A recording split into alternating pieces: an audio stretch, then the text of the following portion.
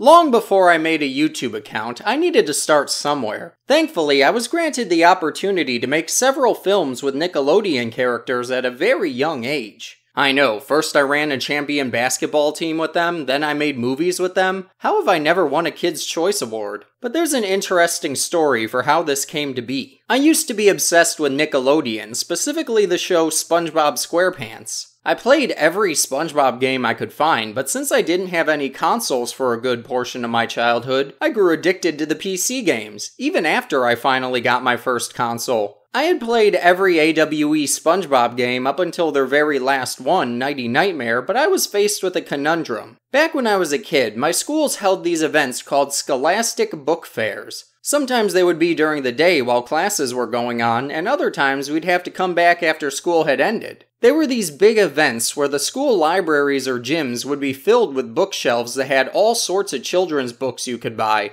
We even used to get catalogs in advance that would tell us what books the fair would have. I always used to circle the ones I wanted. This was where I got most of my Goosebumps and Bionicle books. All things considered, events like these were great for encouraging children to read. It was always a fun little thing to look forward to. These events were in association with Scholastic, a massive book company that published many works for children, even going beyond books themselves. This was evident when I saw they were selling old computer games one night. There were two games on sale that I didn't have Nighty Nightmare, the final AWE game, and another one I hadn't seen before Nickelodeon Toon Twister 3D, an official Scholastic game. I spent at least five minutes checking out both games, analyzing the covers and the descriptions on the back to see which one I liked more. It was a tough decision to make, but Toon Twister 3D looked a lot more interesting, so I ended up taking that one. Even as a fan of AWE, I think I can say I made the right choice there. I had so much fun messing with this little filmmaker, even if it was a little strange. Along with Scholastic, Toon Twister was also developed by WayForward Technologies. That's right, the same company that brought us Shantae and River City Girls. For a time, they focused on making educational media and games for children.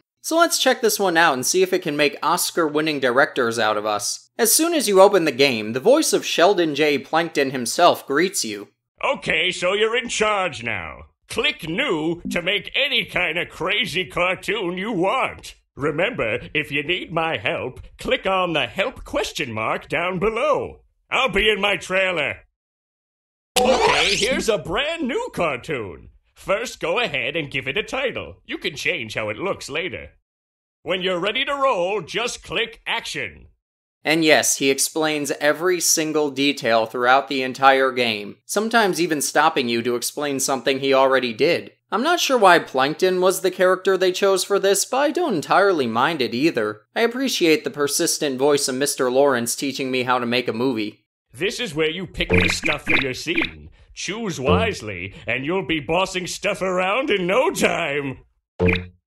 Marvelous! Now add some characters by clicking the Actors button. I found the process complicated as a kid, and as an adult, I still kinda do, but I managed both times. You start by choosing a background from a myriad of locations. Many of these are from Nickelodeon shows, but others seem to be generic settings. You have a good selection to choose from, so you can make most visions come true with the tools you're given here. Once you choose a backdrop, you have to select characters and props. You can only use four of each per scene. Some are 2D and others are 3D. It's a little jarring to look at, but I don't entirely mind it. Before we get to the editor, just look at the character choices. Obviously, the developers were partial to SpongeBob. That makes sense, it was always the most popular Nickelodeon show. SpongeBob, Patrick, Mr. Krabs, Squidward, Plankton, and Gary are here, but Gary is just a little 2D sticker. This makes him drastically stand out from the rest of the cast. Jimmy Neutron has five characters Jimmy, Goddard, Carl, Cindy, and Libby. Remember how Carl was the one left out in Nicktoons basketball? Well, Sheen was left out of this one. Did Carl and Sheen have some sort of agreement as to who would be in each of the games? The other represented shows are Rugrats and Fairly Odd Parents. For Rugrats, we have Tommy, Chucky, Angelica, and Fluffy? Why did Angelica's cat take priority over the entire main cast of Rugrats? Maybe they couldn't afford the other voice actors. For Fairly Odd Parents, we have Jimmy, Cosmo, Wanda, Vicky, and Cosmo and Wanda's faces. I'm not even joking. You can just have the outright faces of Cosmo and Wanda in your movie. They have all the same lines, but no bodies to do any actions with. Why would anyone want this? What's nice is how every character that can speak has a selection of hellos and goodbyes addressed to every other character in the game. If you want to hear your favorite Nickelodeon characters talking to one another, you have the perfect opportunity here. Now let's get on to the editor. You can move characters and props throughout the movie and even make them walk and run, but they always face forward and can't turn to the side or backwards. Kinda disappointing, but I can still work with this. You can also give them voice lines by choosing from a library of quotes. Many of them are from the shows, but others are just strange things they decided to include. It's mine! I can't let SpongeBob see this! Ready when you are! What do you got to eat? I said so, that's who. Ah, a joke. if Tommy can't do it, nobody can. This is too scary. I wonder where Tommy is. Oh, good boy, Goddard. Hinkle, fankle, dinkle doo. Mmm, steamy. List. Fire on me poop deck! I tell you what, you give me 20 bucks and we'll call the whole thing even. It also sounds like Rodger Bumpass was having the time of his life with some of Squidward's lines. I'll choose from. Hi, Patrick. Hello, Vicky. What's happening, Carl? I think you're. How you doing, Jimmy? Hello, Cindy. Hello, Cosmo. How you got it? Hey, yo, Tommy. Chucky, my man. Bonjour, Angelica. Howdy ho, Fluffy. Oh, look, it's SpongeBob. I'm so happy. No! Clarinet music rocks! Obviously, only characters who can talk have full libraries of voice clips. The animal characters just make their usual sounds. Hey, what do you mean Goddard can't talk? Didn't you play the AWE Jimmy Neutron game? Is it dangerous? Gary also has this one single meow. That was horrifying. Obviously, with only specially selected voice lines, it's hard to really make a complex movie with the story you want to tell. So you have the option to record your own voice if you have a microphone. I'm gonna watch LuciLilium on YouTube. No! He's kidding, right?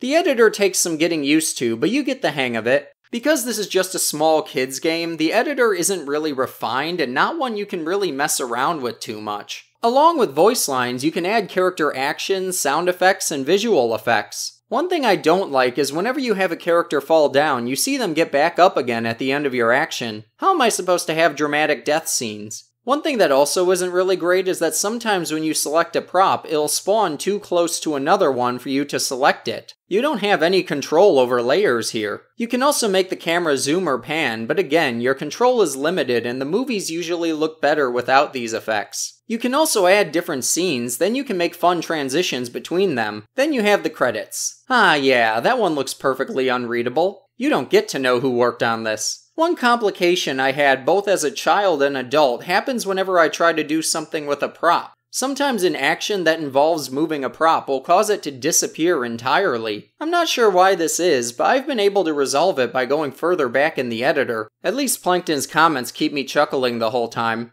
At least until they get irritating. Oops. Your budget only allows four actors per scene. To add that new one, you'll have to get rid of one first. Listen up! Walks are special. First choose the walk you want, and then tell the character where to go by clicking and dragging them.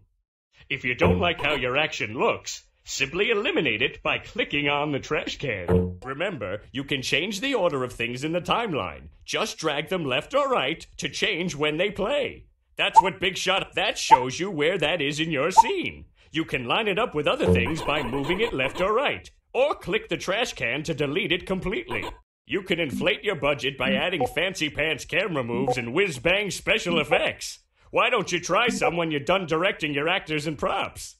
Did I mention you can also add music? The songs are taken from the shows, and you have to use them wisely so they don't overshadow what your characters say. Now let's get on to some of the character designs. Most of them are pretty good, but why are the Fairly Odd Parents models so small compared to the other ones? Timmy is smaller than literal baby characters. Also, just like in the Jimmy Neutron PC game, Cindy still looks like a porcelain baby doll. Once you finish your movie, you can save it to your desktop or play it in a theater where the silhouettes of Nickelodeon characters watch it MST3K style. Let's check out some of my masterpieces. Hi, Squidward! Wow, wow, wow! Not a thing about that.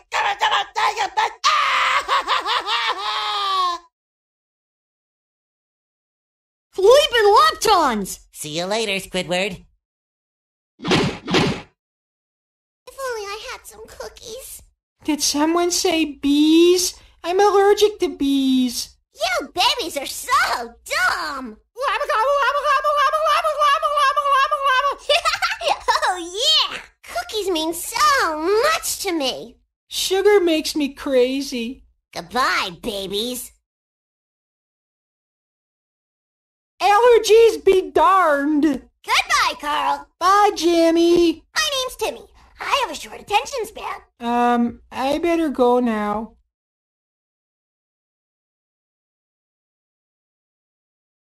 Hello, all you people. Get a load of this kid. You talk funny. Are you from Europe or something? What's wrong with you babies? Are your diapers on too tight? You! Pay attention! I'm a girl with looks, brains, and big plans for my future. I am the great Angelica. Don't you just love me? I hate you! Ah! Ooh! Ah! Oh! Whoa! Yeah! Ugh! Oh. You know, for a bunch of stinky babies, you guys aren't so bad after all.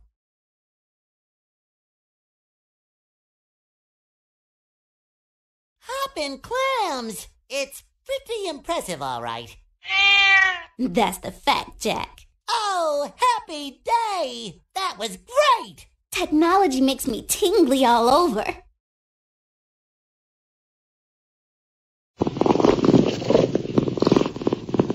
Oh, no! Hold on, I'm getting a beep. How about a movie? Ta-da!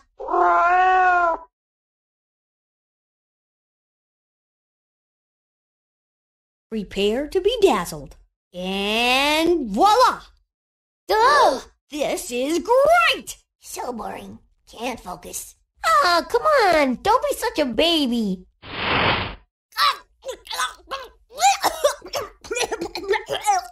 This totally reeks. I can fix that.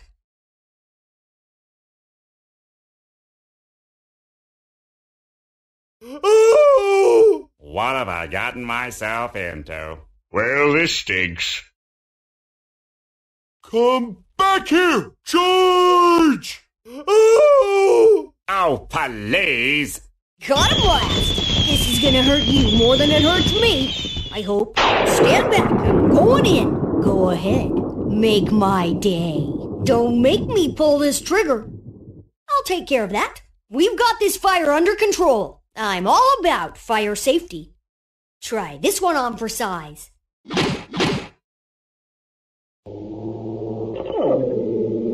Gas planet! Oh no! My pants! H E L P! Help! No! Me money! Hey, I like this game. Oh boy, the plan's already falling apart. Go on, Timmy. You can do it. Cosmo, Wanda, I wish for. This totally reeks. Come on, let's go! Are you with me, guys? I can hardly wait. Uh, ah! Now what? A baby's gotta do what a baby's gotta do. You'll do great, and I'll be right here to help you. Interpretive dance, anyone? Ha cha cha. One, two, cha cha cha. I've got crazy feats, several of them. Clarinet music rocks. Go with the music.